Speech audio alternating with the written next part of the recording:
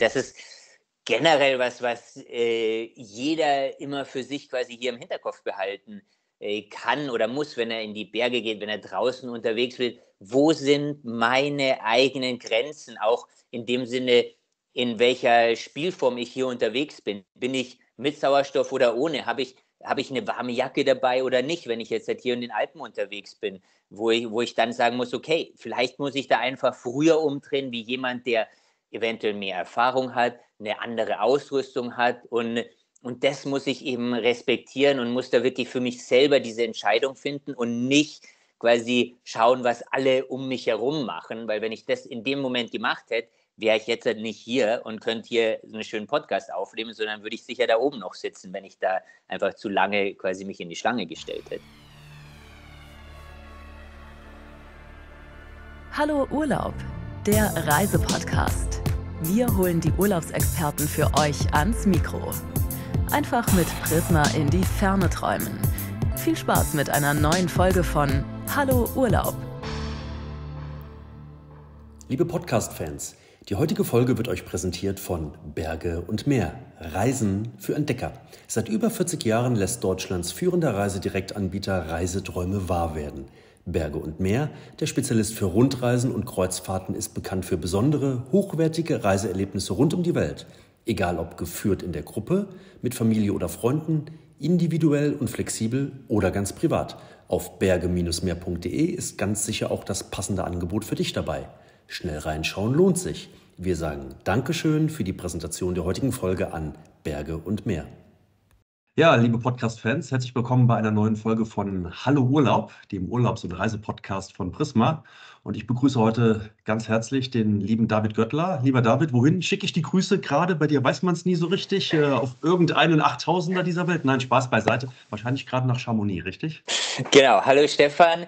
Ähm, äh, Im Moment im Winter in Chamonix und im Sommer dann in Spanien und dazwischen, genau, äh, auf Expeditionen meistens unterwegs. Aber da gibt es leider oder im Moment, ja, on and off quasi gute Internetverbindung. Ich weiß nicht, ob das da jetzt schon so möglich wäre, so ein schönes Podcast aufzunehmen. Ah, okay, das wäre ja, das ist mal eine Challenge. Das, das können wir uns vielleicht für, für die Zukunft irgendwann mal aufheben. Sehr gut. Nein, ähm, du bist Höhenbergsteiger, ähm, du bist auch ausgebildeter Bergführer, du bist Vortragsredner, ähm, aber ich glaube, viel mehr kann man sagen, du liebst einfach das Draußensein. Ist das so?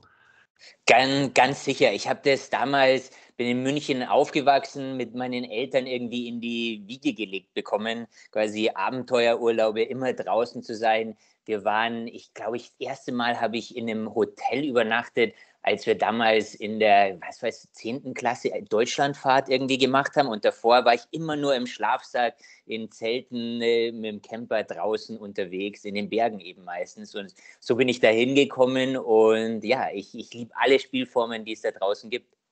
Mhm. Also wir sind ja in der, in der Urlaubsshow hier. Also bedeutet Urlaub für dich so ein bisschen so Abenteuer und draußen sein? Also weniger, so wie ich jetzt raushöre, der Städtetrip und mal zwei Tage in einem schönen gestalten Hotel?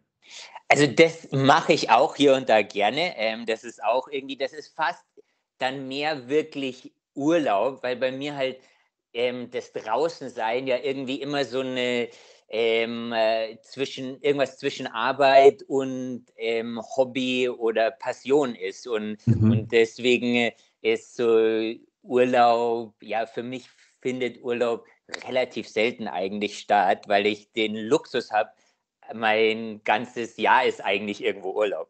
Ja, stimmt, verstehe. Wir sind ja noch früh im Jahr. Wir sind jetzt Anfang März gerade. Hast du denn dieses Jahr in deinem Sinne Erholungsurlaub oder Urlaub, hast du das schon gemacht in diesem Jahr oder steht es noch an?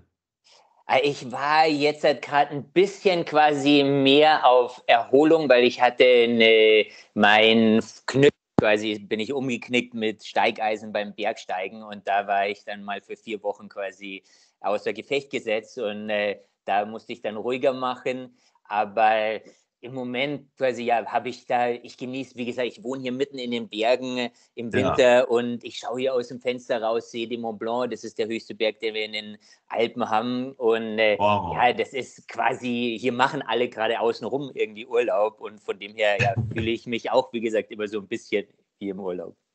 Da zu Hause, wo andere Urlaub machen. Wahnsinn. Du, du bist ja sehr akribisch und das musst du natürlich bei, bei dem Job, den du hast oder bei dem Hobby, äh, das du hast, äh, was du miteinander verbindest, ja auch sein. Sonst würde sowas ja logischerweise nicht funktionieren. Ähm, da schreibt man sich doch wahrscheinlich alles oder notiert sich alles äh, bis aufs Detail, ja, oder? Klar, ich habe, also wenn, wenn das vom Training, das fängt da an quasi, wo ich ganz strukturiert trainiere, wo ich mit einem Trainer zusammenarbeite. Ich habe eine Mentaltrainerin dazu noch, wo ich quasi an dieser mentalen Sache arbeite, was unglaublich spannend ist, weil man einfach so viel über sich selber lernt. Und mhm. das kann ich nur jedem wärmsten empfehlen. Also da muss man kein Profisportler sein, für, einfach für diese normalen Sachen im Leben, ob es Beruf ist, ähm, Familie, Beziehungen, sich selber kennenlernen, ist das super. Ähm, und dann natürlich meine Ausrüstung als anderes ist auch ganz wichtig, wo ich auch ganz akribisch jedes Gramm mir irgendwie überlege, ob das mitkommt dann auf Tour oder nicht und, und was genau mitkommt, was ich eben äh, ja, dann brauche, wo ich was äh, auch verzichten könnte auf, auf das eine oder andere. Und da habe ich in tausend Listen quasi über ja, Ausrüstungsgegenstände, Packlisten, Gewichte von den Sachen und genau, da schreibe ich schon alles immer ja, sehr genau auf. Und das aber auch nicht einfach nur so, sondern um wirklich dann im entscheidenden Moment. Ich habe hab mich natürlich im Vorfeld des Podcasts so ein bisschen mit deiner Historie am Mount Everest, wo wir gleich drauf zu sprechen mhm. kommen müssen, wie ich finde, weil du hast es zweimal nicht ganz geschafft und hast beim dritten Mal aber mit Sicherheit vieles optimiert. Und dann ist doch so eine Liste oder so, ein, so Notizen oder ob das in der App oder in welchem Programm du es auch immer machst, mit Sicherheit sehr, sehr wichtig, oder? Ganz klar, das ist super hilfreich und das, das einfach für die egal was man macht, oder ich, ich quasi funktioniere halt so, dass ich nicht da dieses Chaos beim Packen haben möchte, sondern ich, mhm. ich möchte quasi wissen, was ich jetzt halt einpacke und dann auch danach der Tour ähm, reflektiere, was jetzt wirklich wichtig war, was nicht daraus gelernt habe quasi und, und dann beim nächsten Mal eben besser sein können. Und natürlich war das mit den drei Versuchen am Everest 2019 21, äh, 22, ja genau, 21 und 22, ähm, habe ich da unglaublich viel optimieren können, äh, von Ausrüstung wie auch zur Taktik dann am Berg. Ja. Also, dann lass uns, lass uns kurz drüber sprechen. Also an der Stelle, ich muss das, muss das einfach mal so sagen, auch für die, die vielleicht hier zum ersten Mal äh, einen Podcast mit einem ähm, Extremsportler, so kann man dich ja bezeichnen, auch hören. Äh, du hast auf dem höchsten Berg dieser Welt gestanden, ja, und bist da hochgegangen, ganz alleine und ohne zusätzlichen Sauerstoff. Das heißt, niemand hat dir irgendetwas getragen und du hattest auch keine, keine, äh, keine künstliche Sauerstoffunterstützung auf dem Rücken quasi. Also Chapeau, David, also herausragend, wirklich. Das muss mal gesagt werden. Ja, vielen, vielen Dank. War für mich auch ganz, ganz spezieller Moment auf alle Fälle, das dann vor allem nach diesen drei Versuchen eben mhm. geschafft zu haben. Und, und der Gipfeltag da oben dann am Ende war so speziell. Es ist wirklich ganz schwierig, das alles in, in Worte zu fassen, was da in einem vorgeht. Aber was wirklich das Spezielle war, auch, dass ich dann ganz, ganz alleine an dem Tag wirklich am Gipfel war. Also normal sind ja an so einem Gipfeltag dann viele andere Bergsteiger da auch unterwegs und ich habe das so geschafft vom Timing durch meine Erfahrung, die Taktik und das Glück eben ähm, äh, ja, da wirklich dann den Tag zu erwischen am Ende, wo ich ganz alleine war. Aber ich habe auch das andere Extrem davor erlebt. Da sieht man es, ne? Das ist der Tag, oder? Genau, das ist der Tag ähm, da im Mai 2022. Das hier ist quasi kurz vorm Gipfel vom, vom Everest. Im Hintergrund sieht man den Südgipfel, diesen Grat, der da lang geht, hat dann so eine kleine Kuppe, das ist der Südgipfel.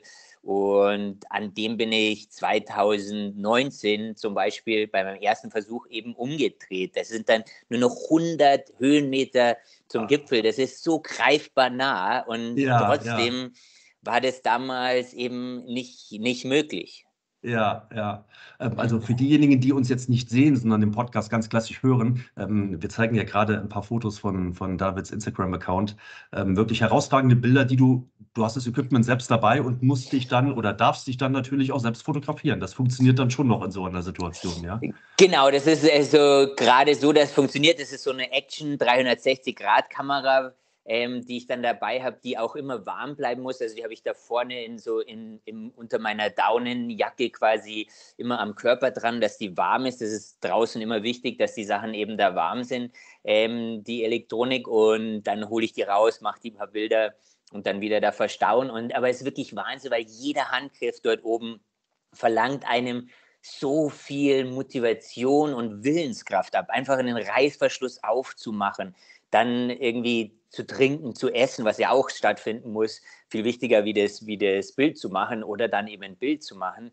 Ähm, das ist unglaublich, wie viel Motivation man für diese Kleinigkeiten, die hier unten einfach nebenbei funktionieren, ähm, dort oben quasi ja irgendwie gebraucht werden.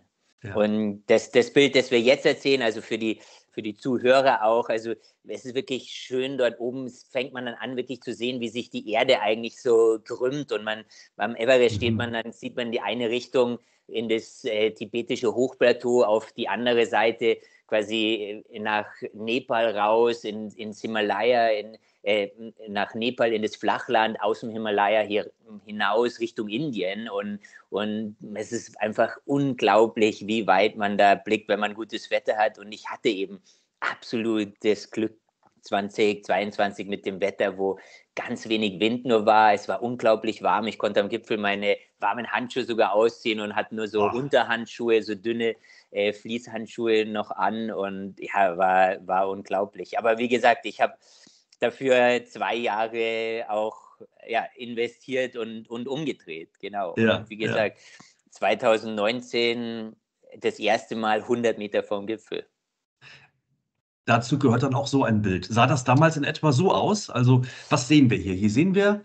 Hier sehen wir den sogenannten äh, berühmten Hillary Step, heißt es. Das ist so eine kleine Felsstelle hier in dem Grat. Das sind das mhm. Foto ist hier vom Südgipfel aufgenommen, rüber zum Hillary Step und dann den Hauptgipfel sehen wir quasi, wo diese Menschenschlange da oben endet. Mhm. Und das ist hier jetzt halt ein Bild mit unzählig vielen Menschen auf einem ausgesetzten Grat, die hier wirklich Schlange stehen, wie wenn es irgendwie ja was umsonst geben würde. Aber das ist quasi Schlange stehen zum höchsten Gipfel des Everest. Und das Bild ist ein Tag vor dem ähm, Tag entstanden, wo ich dann das probiert war. Und ich bin genau an der Stelle umgedreht und es sah relativ ähnlich noch ähm, für mich aus. Und das war der Grund, warum ich dort umgedreht bin, weil einfach zu viele Menschen hier unterwegs waren und ich ohne Sauerstoff, ohne quasi dieses Hilfsmittel, kann mir das nicht erlauben, dort oben für Stunden einfach am Fleck zu stehen.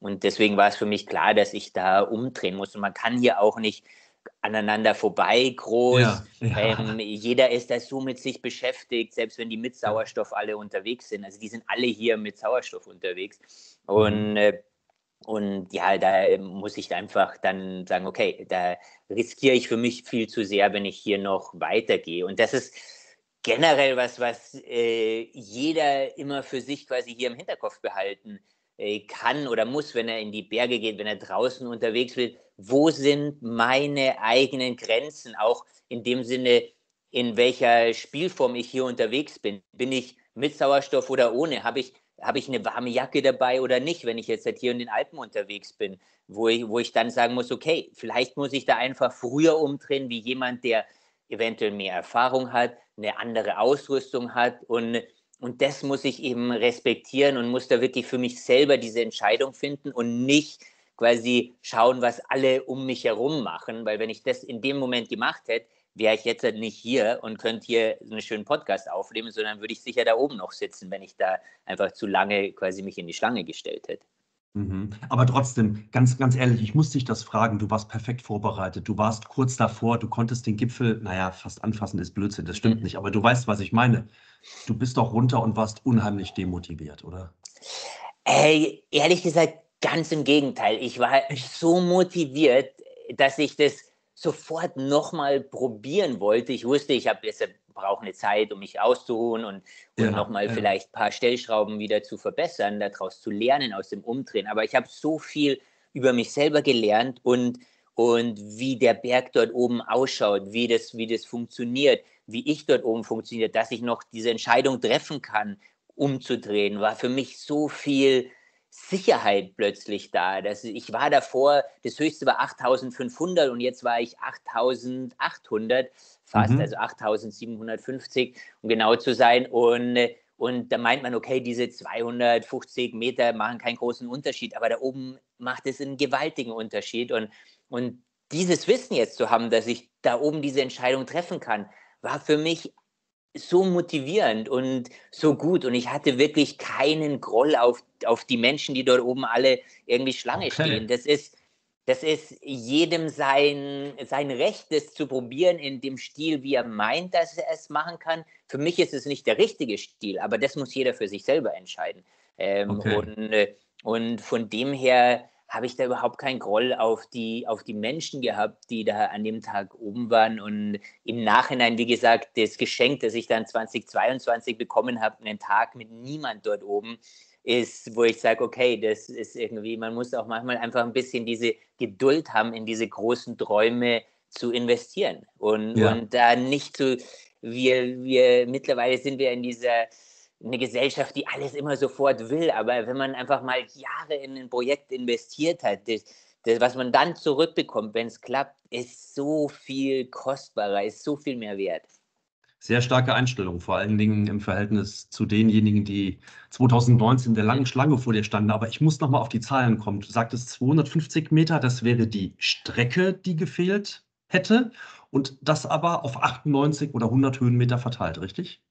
Genau, also von der Strecke, genau, ist irgendwie sowas in dem, äh, in der Distanz. Also das ist unglaublich wenig, aber es ja. dauert dort oben einfach Stunden. Man bewegt sich so, so langsam.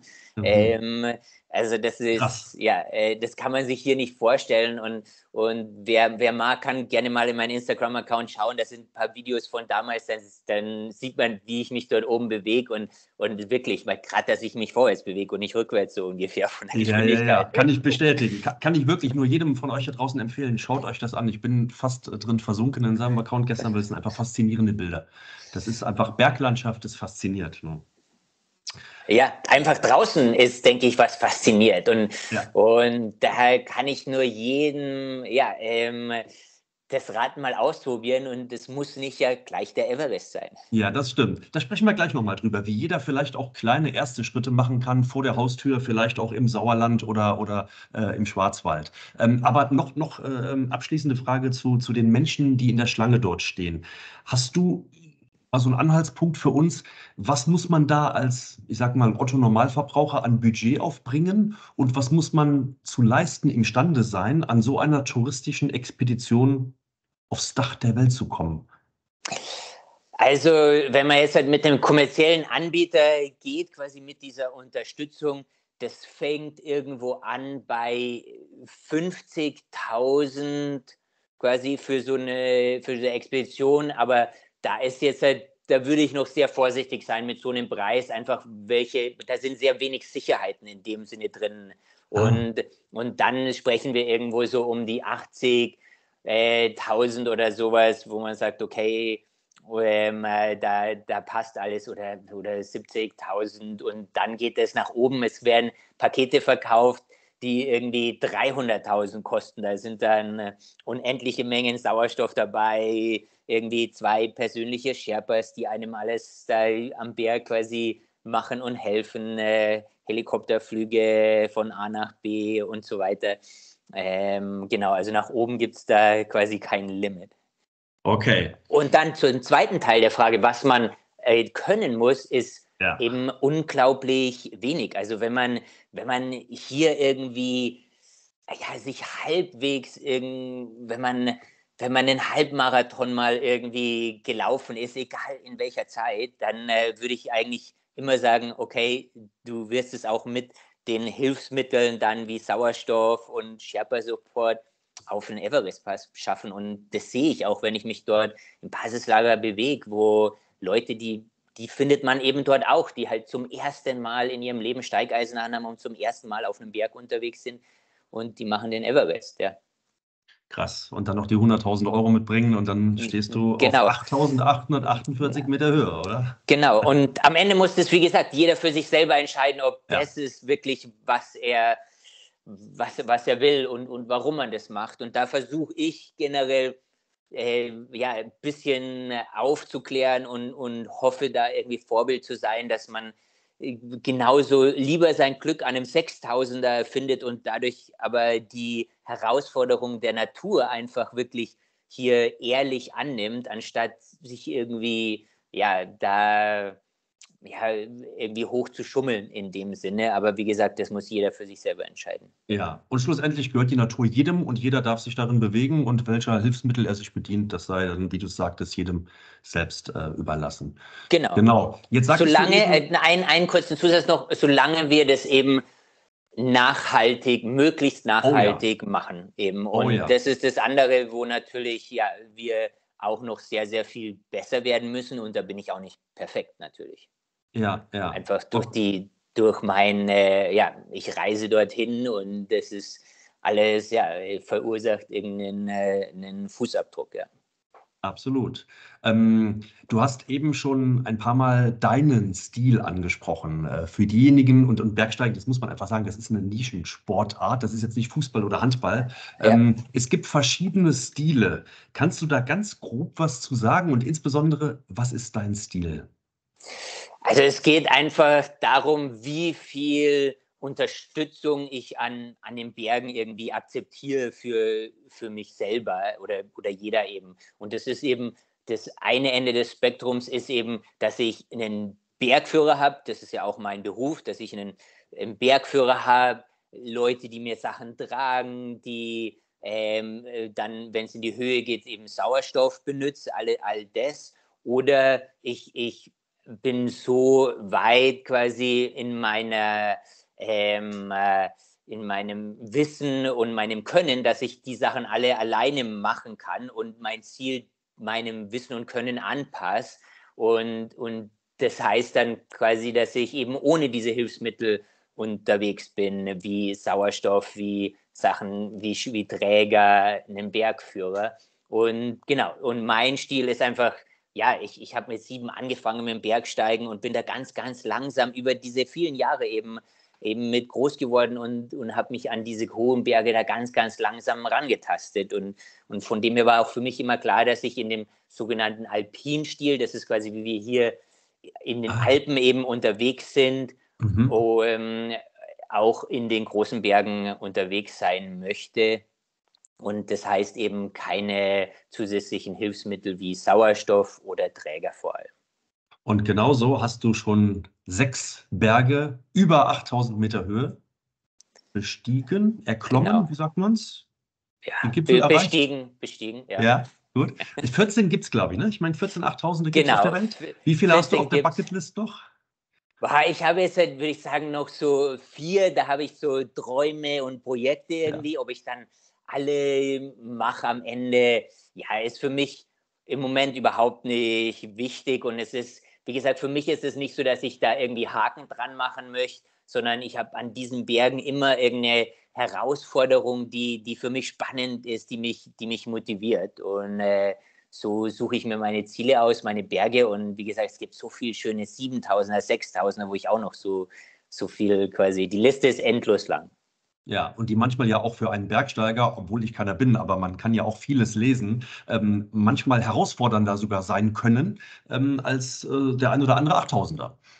Ganz, ganz sicher. Also wie gesagt, es gibt viel schwierigere 6.000, 7.000er als jetzt äh, der Everest Normalweg. Ja? Je nachdem, in welchem Stil ich den eben mache. Jetzt haben wir über 8000er gesprochen, über deine drei Aufstiege auf den Mount Everest, einmal mit einem herausragenden Ende im Mai 2022. Wir haben aber auch schon darüber gesprochen, dass wir den einen oder anderen da draußen motivieren wollen, auch was zu tun und vielleicht auch mal so ein bisschen bergig unterwegs zu sein. Wie, wie ist denn, wie, wie motivieren wir denn Menschen? Also ich beobachte manchmal so viel, dass sie sagen, oh Gott, das ist ja da hoch, boah, das wird schwierig für mich, das traue ich mir nicht zu. Ne? Äh, aber eigentlich ist es doch relativ einfach, wenn man erstmal mit, mit, mit kleinen Schritten anfängt und überhaupt erstmal wandern geht, oder? Oder wie siehst du das? Ganz, ganz genau. Ich meine, darum, darum geht es ja, dass, dass man diese kleinen Schritte quasi, die am Ende auch ist, wenn ich an meinem Everest denke, wie klein meine Schritte und wie viele ich da gebraucht habe, um auf den Gipfel zu kommen. Da muss man dran glauben, dass diese kleinen Schritte einen einfach ein bisschen immer vorwärts bringen. Und, und dann habe ich einfach noch niemand äh, gesehen, der, wenn dann mal auf irgendeinem erhöhten Punkt gestanden ist und diese Aussicht genossen hat, egal von wo das ist, irgendwie ein, ein Gefühl von Zufriedenheit und Glück empfunden. Oh ja. Und, und das kann ich nur jedem wärmstens empfehlen, das mal auszuprobieren, da rauszugehen und einfach diesen ersten Schritt, der ja oft der schwierigste ist, den zu wagen und dann und dann schauen, wie sich entwickelt und und nicht quasi man kann mit für mich ist es auch so, ich brauche so einen, ein großes Ziel, einen großen Traum, den ich da irgendwie vor mir habe, aber oft sind es Jahre weg und ich weiß, es braucht viele, viele Jahre, um das zu erfüllen, aber ich habe den, um, um diesen Anfangsfunken irgendwie an Motivation zu bekommen. Und dann genieße ich aber einfach den Prozess, dorthin zu kommen, den Weg, dorthin zu kommen. Und das ist, wo ich dann jedem nur raten kann, sich auf diesen Weg zu begeben. Und da, da ja, einfach diese Erfahrung zu machen und schauen, wie sich das anfühlt, da draußen in der Natur unterwegs zu sein. Wir müssen auch über Ausrüstung kurz sprechen. Nicht über deine Ausrüstung, ja. um Gottes Willen, die ist bei dir extrem wichtig, aber ganz viele Dinge, die du hast, die braucht derjenige, der erstmal vielleicht mit seiner Familie, zeichnen wir mal diesen Case, hm. Familie, zwei Kinder vielleicht, so Mittelgebirge, Mitteldeutschland irgendwo, sagt, hey komm, am Wochenende, wir starten mal. Lass uns mal drei, vier Stunden raus, vielleicht auch ein paar Höhenmeter, was werden das sein, 100, 200 irgendwo. So, was, was, was ist da wichtig? Also reicht dann noch ein guter Turnschuh oder, oder sagst du, hey, das muss direkt ein ordentliches Schuhwerk sein und, und eine Funktionshose? Also ich denke, das kommt zurück zu dem Punkt, wo wir ähm, schon mal waren, auch bei mir, ähm, wo man sagen muss, okay, ich muss die Ausrüstung quasi mein Ziel und die Ausrüstung irgendwie zusammenbringen und das respektieren. Und ich kann mhm. mit einem normalen Turnschuh irgendwie äh, was machen und, und, und wandern gehen, das ausprobieren, aber muss halt dann akzeptieren, wenn der Weg plötzlich sehr viel anspruchsvoller wird, als ich gemeint habe und plötzlich Schnee irgendwie zum Beispiel auftaucht im, im Frühjahr oder im Winter irgendwie, wo ich dann sehr, wo es rutschig wird, dass ich sage, okay, hier muss ich halt dann akzeptieren, dass meine Ausrüstung jetzt halt nicht äh, optimal ist für das und ich muss halt dann umdrehen. Und das ist okay. Und das muss ich respektieren und dann kann ich mit der Ausrüstung, die ich habe, einfach mal schauen, was, was möglich ist, aber das im Hinterkopf haben, eben, okay, ich muss umdrehen. Und dann natürlich, wenn man viel unterwegs ist oder häufiger, dann sollte man natürlich irgendwie ein bisschen festeres Schuhwerk, eine, eine Bekleidung, die natürlich irgendwo äh, regensicher, windsicher, Wetter, Wetterschutz einfach bietet. Generell rate ich auch immer, dass man sich ein bisschen informiert, quasi, wo ich heute lang gehe. Also einfach eine, eine Karte mhm. sich anschaut. Heutzutage ist alles irgendwie sehr einfach im Internet zu bekommen. Oder ja. auch bei manchen ähm, Wanderungen am Ausgangspunkt ist eine Karte, die da irgendwie zeigt, wo, wo ein Weg ist. Mach ein Foto davon, dann habe ich das quasi auf, auf der Wanderung dabei und kann mich da eventuell orientieren. Und dann einfach auch wichtig, dass man sagt, okay, ist mein habe ich ein System dabei, wo ich, wenn was irgendwie schiefgehen sollte, ich quasi um Hilfe rufen kann. Das ist einfach sehr wichtig. Wir sehen es einfach immer wieder, dass die Leute mit einem äh, 10% Akku irgendwie an den Start gehen und, ja. äh, und dann irgendwie in Bergnot geraten und, und dann ja einfach daran scheitert oder das Ganze viel schwerwiegender wird an, an, an, an den Konsequenzen, wenn sie jetzt halt einfach einen Notruf absetzen haben können. Okay, das war jetzt mal so der Fall, so Familie, Einsteiger, Mittelgebirge. Also da ist, hat es, glaube ich, sehr, sehr viel motivatorischen Kick, den man einfach nur braucht und dann kann man einfach mal machen. Also das, das wird schon ja. relativ easy funktionieren, denke ich. Ne? Genau. Ab, ab welchem Punkt kommst du als ähm, geprüfter und ausgebildeter Bergführer ins Spiel? Ist das, wenn ich zum Beispiel sage, hey, mit zwei, drei Kumpels, ich möchte mal zumindest mal auf die Zugspitze. Brauche ich dich dafür? Oder bist du da, der richtige Mann dann? Ja. Ne?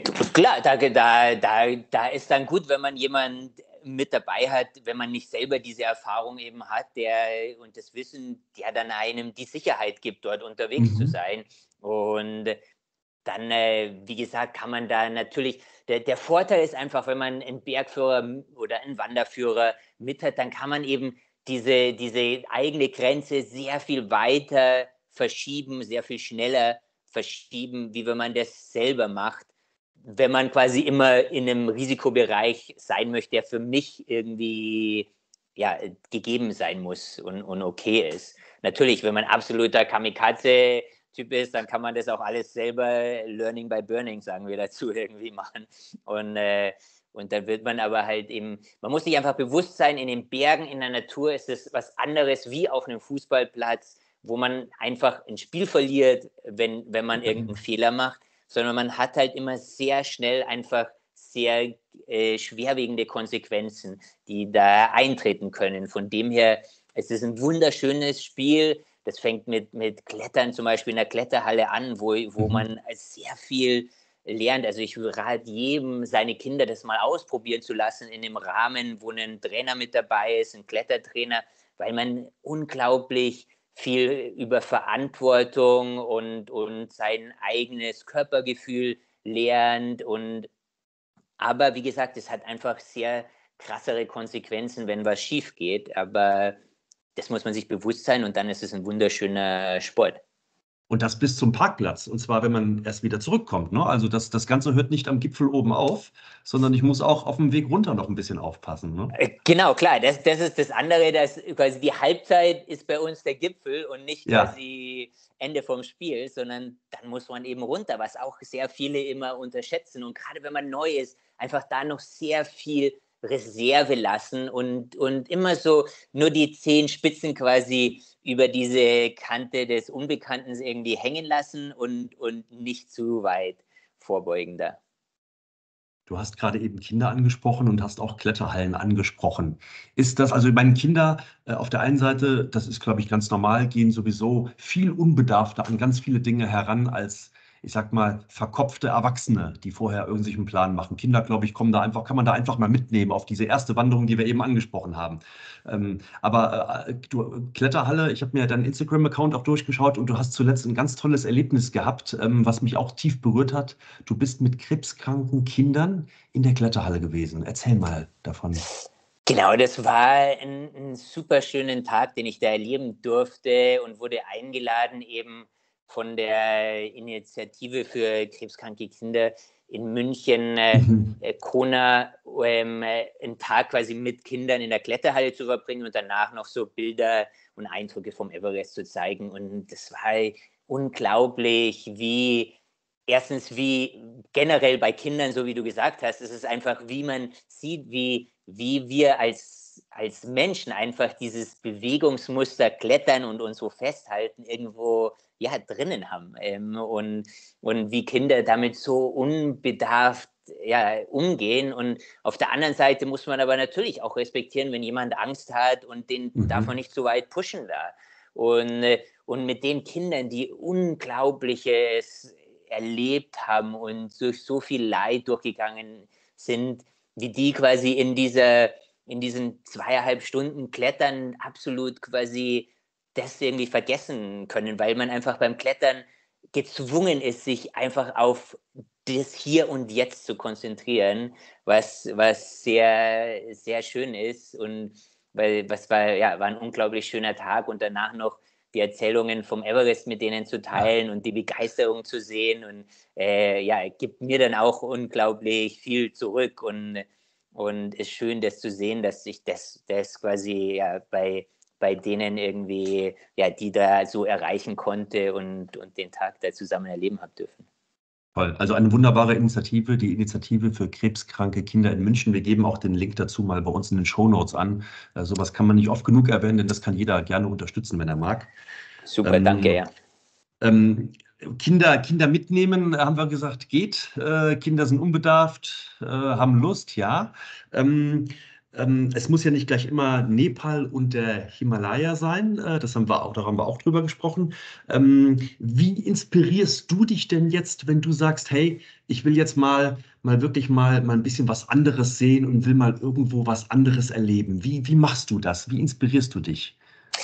Ich bin relativ leicht quasi zu begeistern was, was immer es ist irgendwie. Also ich, äh, egal welche Sportart zum Beispiel, bin ich sofort mit dabei am, am Anfeuern. Und ob ich es dann selber mache, ist, ist was anderes, weil manche Sportarten sind dann schwierig, quasi da, da anzufangen und auch einfach von der Zeit her. Aber da bin ich leicht. Aber ich habe jetzt halt zum Beispiel angefangen, äh, Ausrüstung selber zu nähen und zu und zu ja, Rucksäcke zu bauen, Zelte zu bauen. Und äh, da kann ich natürlich mit meinen Sponsoren arbeite ich da zusammen, aber lerne mhm. das mir selber und dann schaue ich mir YouTube-Videos äh, irgendwie von irgendwelchen äh, quasi älteren Damen, die irgendwie Nähmaschinentipps quasi weitergeben an Ach. und ist total, total faszinierend. Und ich denke mir, oh mein Gott, ja, ja, ein Leben lang an Erfahrung an so einer Nähmaschine irgendwie. Und also wie gesagt, ich bin da relativ einfach zu begeistern. Und ich glaube, mich begeistert generell einfach, wenn ich sehe, dass jemand Leidenschaft in irgendwas hat und, mhm. und das ist irgendwie für mich sehr ansteckend, ja. Okay, dann stelle ich die Frage ein bisschen anders, denn wir haben ja am Ende unserer Urlaubsshow Hallo Urlaub immer so ein kleines Spielchen. Äh, ja. Ich packe meinen Koffer oder vielleicht deinen Trolley oder wahrscheinlich bei dir eher der, der ultramoderne Rucksack für meine nächste Reise, die dich wohin führen wird? Also meine nächste Reise geht hoffentlich nach Pakistan ins Karakorum. Oh, wow. Ähm, genau, und da ja, bin, bin ich gespannt müssen auch so die letzten paar Entscheidungen getroffen werden, ob das wirklich stattfindet, aber schaut relativ gut aus und bin ich ja sehr, sehr motiviert drauf. Schön. Und natürlich sind nicht nur drei Dinge mit im Koffer oder im Rucksack, aber dann nenn uns doch mal so drei Dinge, wo wir vielleicht nicht so erwarten würden, dass du sowas mitnimmst. Also ich habe immer so einen kleinen, äh, das ist von äh, Garmin in Reach heißt es, so ein Satelliten. Kommunikationsding ah. dabei. Das ist, ah. das habe ich auch hier in den Alpen, wenn ich kein Handynetz habe, dann kann ich dort Notrufe absetzen. Aber auf Expedition, da ich so lange unterwegs bin, ist es so meine, meine Methodik, mit, mit Familie, Freunden in Kontakt zu bleiben, was mir dann auf Expedition schon abgeht. Und, und das ist quasi, was ich dabei habe. Das ist wirklich so Zigarettenschachtel, das darf man hier nicht sagen, groß, ähm, kennt keiner mehr. Aber es ist wirklich sehr, sehr klein und da kann man mhm. einfach so klassische 160 Zeilen, Zeichen SMS quasi hin und her schicken. Und äh, das ist so ein, eine Sache, die, die immer da in dem Koffer oder in dem Rucksack mit dabei ist. Okay. Und ein, zwei andere Dinge vielleicht noch. Bist du ein Buchfreak? Nimmst du auch mal ein Buch mit, wenn du abends irgendwie mal Zeit hast oder so? Ich habe mittlerweile, die Bücher sind quasi relativ unromantisch auf quasi der, meinem iPhone irgendwie drauf, also E-Books. Ja, ähm, äh, weil einfach jedes Gramm immer irgendwo zählt, da unterwegs zu sein. Und das, da habe ich schon Bücher dabei, aber mittlerweile lade ich mir davor immer Podcasts runter und höre eigentlich Ach, viel lieber eben Podcasts. Da bin ich großer, großer Fan von eben. Ähm, ja. Und dann, was auch noch immer dabei ist, ist so ein kleiner, das ist so eine, so eine Kette, also keine Kette, ist aus, aus einem roten Zwirn und das habe ich, das ist ein, ein äh, Glücksbringer von einem Lama aus Nepal wo ah. man so eine, bei so einer Puja, das ist so eine Zeremonie eben vor, vor einer Expedition immer, und da bekommt man das und da habe ich einen, der speziell quasi ist für mich einfach von den Erlebnissen und den habe ich dann auf Expeditionen immer um Hals und ist quasi mein Glücksbringer da und ohne den würde ich auch nie auf Expedition gehen. Wow, und den darfst du auch niemals bitte verlieren, den musst du immer wieder mit nach Hause bringen. Genau, da ja, gebe ich mir große Mühe. Ja, und wir haben eben schon, wenn man das jetzt mal transferiert auf, auf denjenigen, der hobbymäßig mal so ein bisschen unterwegs ist, da hast du, glaube ich, den wichtigsten Tipp eben schon fast mitgegeben. Nämlich äh, das Handy nicht nur mitnehmen, sondern das muss auch geladen sein und der Akku muss noch ausreichend voll sein, oder? Das ist ganz okay. wichtig. Ne? Genau, das sollte man einfach kurz abklären und wie gesagt, äh, Im Idealfall, wie gesagt, passiert da nichts, aber wenn dann was passiert, dann ist es einfach echt, ja, schon fast fahrlässig, da ohne, ohne Kommunikationsmittel irgendwie am Berg unterwegs zu sein heutzutage. Lieber David, das hat richtig Spaß gemacht mit dir heute über ja, Höhenbergsteigen, äh, über das Dach der Welt, äh, über Kletterhallen, über Chancen und Möglichkeiten für Kinder, für Familien, draußen zu sein, zu sprechen. Vielen Dank dafür. Ja, vielen, vielen Dank, Stefan. Und ich hoffe, dass wir ja, viele inspirieren konnten, da rauszugehen und wie gesagt, einfach diesen ersten Schritt zu wagen. Absolut. Jetzt ganz kurzer Werbeblock in eigener Sache. Wir haben ja noch eine zweite Podcast-Show, die heißt Hallo. Und da sprechen wir regelmäßig, liebe Podcast-Fans da draußen, mit Prominenten aus dem Fernseh- und Showgeschäft. Bernhard Hohecker hat uns vor kurzem besucht. Natascha Ochsenknecht war bei uns zu Gast. Also hört auch da mal rein. Hallo von Prisma. Ja, und dir, lieber David, nochmals vielen, vielen herzlichen Dank und pass am Berg bitte immer richtig, richtig gut auf dich auf. Das musst du uns allen versprechen. Verspreche ich euch, ich gebe mir Mühe. Bis dahin. Tschüss. Ciao. Liebe Podcast-Fans, die heutige Folge wurde euch präsentiert von Berge und Meer, Reisen für Entdecker. Seit über 40 Jahren lässt Deutschlands führender Reisedirektanbieter Reiseträume wahr werden. Berge und Meer, der Spezialist für Rundreisen und Kreuzfahrten, ist bekannt für besondere, hochwertige Reiseerlebnisse rund um die Welt. Egal ob geführt in der Gruppe, mit Familie oder Freunden, individuell und flexibel oder ganz privat. Auf berge-meer.de ist ganz sicher auch das passende Angebot für dich dabei. Schnell reinschauen lohnt sich. Wir sagen nochmals Dankeschön für die Präsentation der heutigen Folge an Berge und Meer. Das war wieder eine Folge von Hallo Urlaub, dem Reisepodcast. Schön, dass ihr mit dabei wart. Mehr aus der großen Unterhaltungswelt, das stets tagesaktuelle TV-Programm und alles rund um Streaming findet ihr auf www.prisma.de.